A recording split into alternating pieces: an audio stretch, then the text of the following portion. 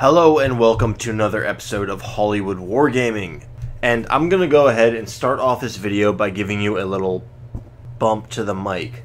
And that's a cheers to all you Legion players out there for finishing up my review for all the clone faction units. Now, that's not that big of an accomplishment because the clones are still super new and do not have that many units announced. And really, we do have the ARC Troopers and Padme around the corner, but I can't review them until we have all of the cards revealed. But nevertheless, the content must flow. And I'm actually tuning in right now to respond to a nice YouTube comment left by Bluecraft Entertainment, who asks what I would like to see in Star Wars Legion in the future. And oh boy, if you knew me in real life, asking for my opinion on anything is opening up an entire can of worms. So, of course, I'm going to make a video on it. I think content like this might be uh, uh, filed under the filler content portfolio, but at the same time, I think it makes for great fun videos, and these sort of think tank videos are a lot of fun to do. They also just don't require that much effort on my part. I don't need to constantly brainstorm metas and thing of the sort, so I'm very, very happy to do this. But what do I want to see show up in Star Wars Legion? Now, as many of you know, I am a Republic player, so I'm going to be a little bit biased here, and I'm going to be leaning towards the Republic faction. But at the same time, they also don't have as many units as other factions, and I think some of my want list items are going to be things that are going to show up in the future. But let's dive right in, and the first thing I want is Commander Cody, and I want him as soon as possible. Commander Cody is one of my favorite clones. I love the 212th Battalion, and more than anything right now, I want to be able to use that Averland Sunset from Games Workshop Citadel Paints to paint a clone commander. As you know, for the Phase 1 troopers, there are four rank insignia colors green being sergeants, blue being lieutenants, red being captains, and the yellowish slash gold being commanders.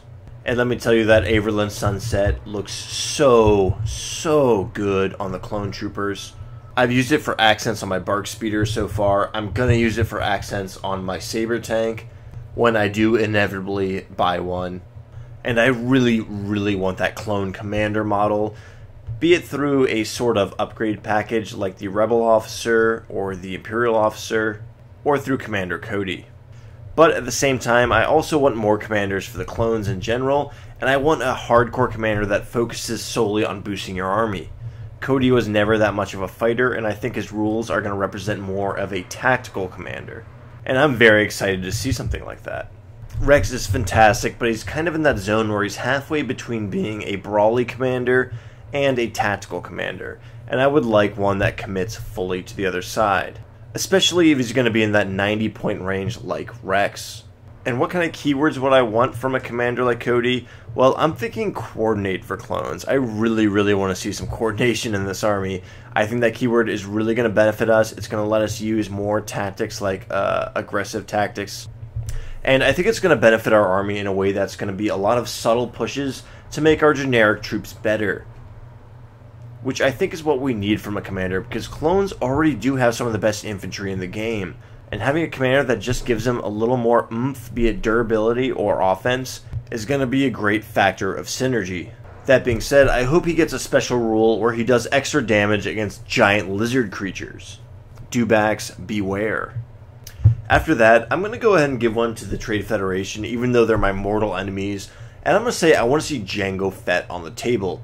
Uh, partly because I really, really want to build that model, and I think it's going to be a lot easier to paint than Boba. But also because the Trade Federation really needs cheap characters. While I like Dooku and Grievous, they are very expensive and they play that kind of smash captain role where I think the Trade Federation needs a little more subtlety to those options. And I think Jango Fett is the man to do it. I'm kind of surprised Cad Bane came out before him, although Cad Bane is definitely a welcome addition. I think Jango Fett is definitely going to get the gunslinger ability, and he's going to have some nifty upgrades a la Boba Fett's, and maybe even match the ARC Troopers with some of their equipment. Also, I really just want to get something off my chest while we're on the topic of Jango Fett.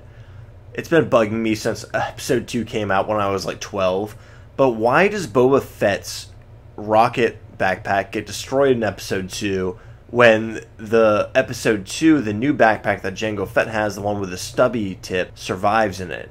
Did Lucasfilms like not realize that that was the carryover jetpack and they actually used the wrong one in the wrong scene? I'm sure Dave Filoni has found a sort of retcon patch to that, but someone please explain it in the comments below. But while we're on the topic of Trade Federation, next I'm going to say let's get some Magna Guard. The Magna Guard are huge. They are some of the coolest droids out there, and they definitely deserve to be represented in the game. They're very much canon, and I would very much like to see what the droids can do with a burly, hardcore melee unit like that. I'm thinking red defense dice, Guardian 1, and a potent melee attack pool, maybe even with some stun abilities in there. Now, in that same vein, I kind of want to see the Republic counterpart, which is the Senate Guards. Now, you don't see these guys much in the movies, but I remember having an action figure of them when I was a kid.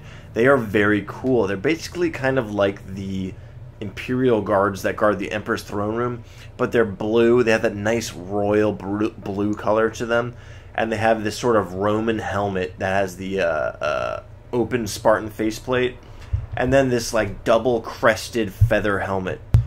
These guys aren't as high on my priority list because honestly, they're not going to look as good fighting alongside clones.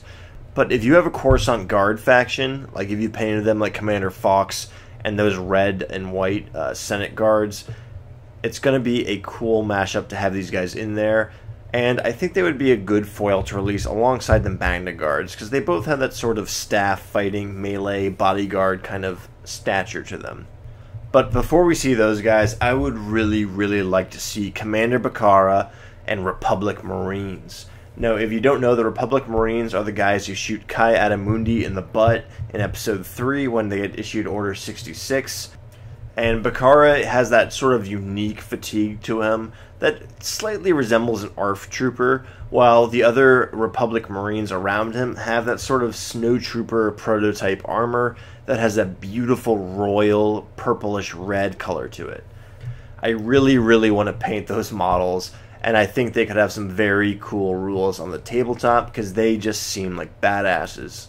And really, when you brainstorm for the future of Legion and the long, long term, and you look at the clone faction, I think the only three options I can foresee is ARF troopers on foot, which you see on Kashyyyk, the Republic Marines, and maybe recruits from the Clone Wars series. So, of those three options, I definitely think our third troop choice is going to end up being the Republic Marines, and boy, I cannot wait for that to happen. I have no idea exactly what the rules would be, but I have a feeling they would be either very hardy or very, very tenacious in combat. But again, let's bounce back to the CIS, and I really want to see the dwarf spider droids. Now, these guys just kind of make sense in the game, and I think they're going to be very, very cool models to see on the table. Don't get them confused with the big spider droids on Geonosis. The dwarf ones are the ones with those little bulb heads that kind of have this cute little face with two eyes and the, the cannon being their nose. They're a bit funny looking, but I think they're going to fit into the scale of Legion perfectly, and I think you're going to see them show up. And I think these guys are going to have a flat out armor ability, maybe red dice, and I can see their main cannon having like impact and critical. They'd probably show up in the support category and be a decent bang for your buck providing some much needed backbone that the droid army needs with its otherwise flimsy forces. But now we're going to start pressing into the territory of things that I think might not show up in the future of Legion, but I still want to see. First of all, I really, really want to see Viceroy Gunray as a commander for the Trade Federation. I mean, he's the real OG homie. He was there from the beginning. The guy blockaded Naboo he was the first one to go out there and, and maybe stupidly and blindly, but followed the orders of Sidious and became the poster boy of the Trade Federation. I also just really want to quote him and say that false moves in Legion are perfectly legal when you make those kind of mistakes in casual games. What would he do? I don't exactly know, but again, I think he would be a nice, cheap commander option for the CIS, which is something, again, that they really, really need. And honestly, I could see Gunray showing up in the game, but with the announcement of things like vital assets, I'm a little worried that he's not going to show up as a commander. But rather just some sort of token model. Which I do not want. I want him to be a commander, and I want every droid player ever to be fielding him in mass with B1 battle droids in a failed invasion attempt. But getting further down the wish list, we have one of my uh, head cannon units. And what I really want to see, and I've seen other people talk about this, I want to see a generic Jedi unit for the Republic faction. And there's really a lot of ways that can be implemented. But most importantly, here, regardless of what slot it takes, be it operative, special forces, unit personnel, I want to see it represent the Guardian, Consular, and Sentinel types of Jedi.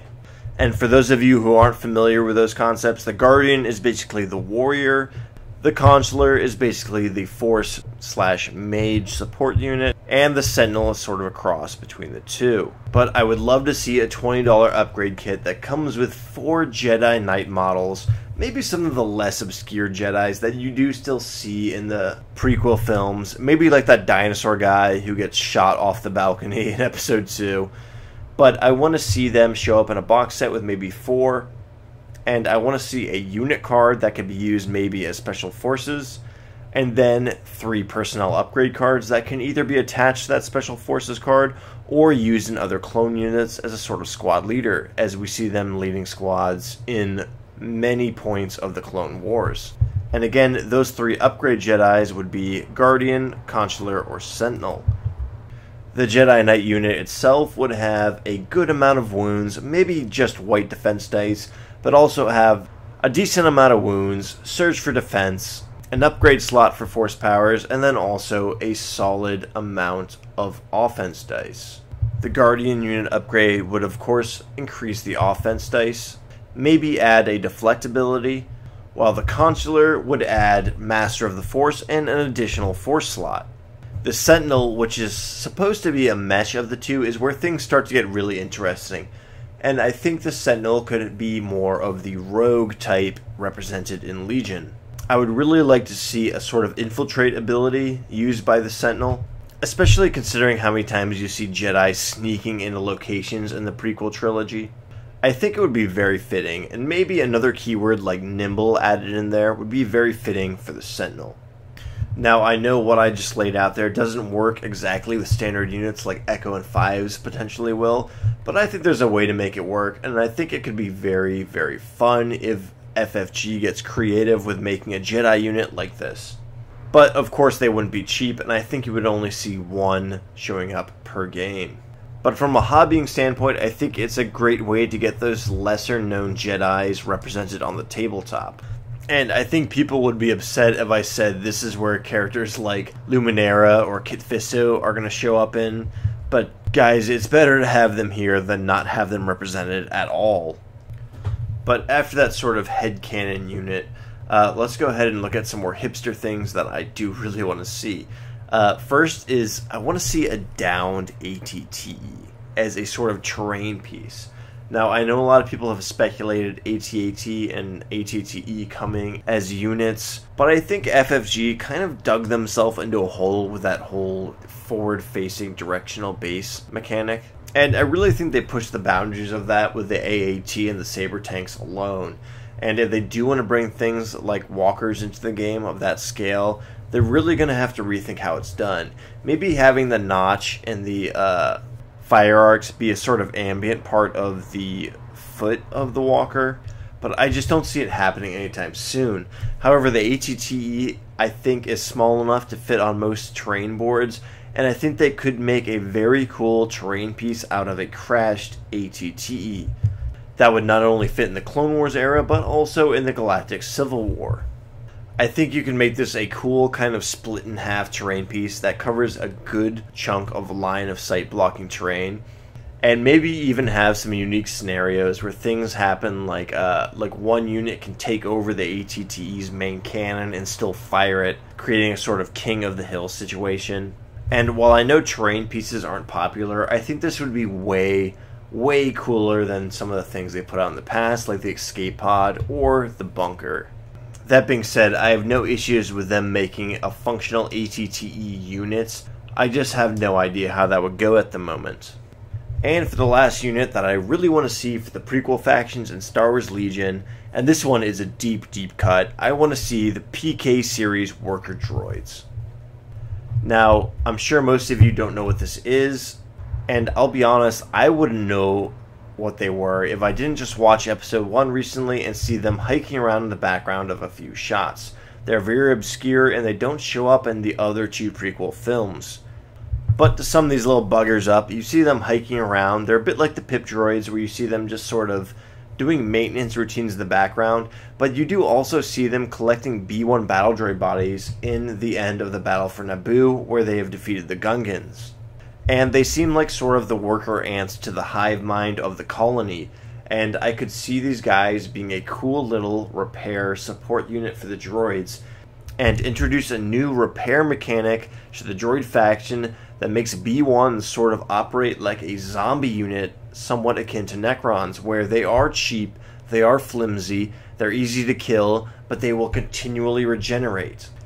It's a flavor you continuously see occur in horde armies and all wargaming, like Tyranid spawning pools and things of the sort, and I think it would be very cool to have that mechanic go on in Legion also.